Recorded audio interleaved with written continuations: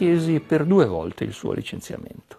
La prima volta lo tenni d'occhio nel periodo a cavallo delle feste di fine d'anno, Natale fine d'anno.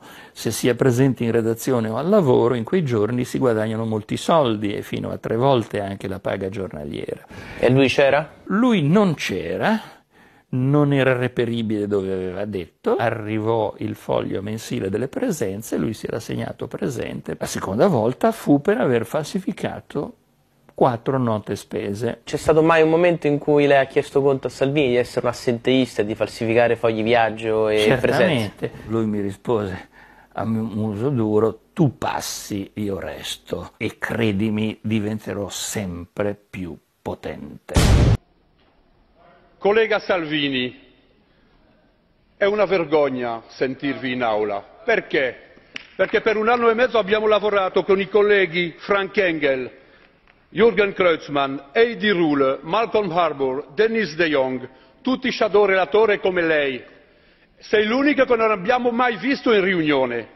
Allora è facile dire che abbiamo fatto aria. No, abbiamo lavorato nell'interesse delle piccole aziende, dei lavoratori, degli appalti pubblici sani. Come lui va a spiegare ai suoi elettori che è, un fanullone in questo Parlamento? È solo in tv e mai in aula, mai in riunione per lavorare. È una vergogna, sei un fanullone in questo Parlamento. Lo dico io.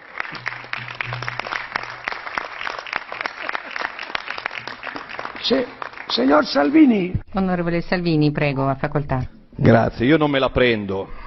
Ci sono colleghi di sinistra che querelerebbero per dichiarazioni di questo tipo. Ci sta, ci sta, ci sta il dissenso, ci sta il consenso, quindi Salvini, ma tu esattamente quando lavori?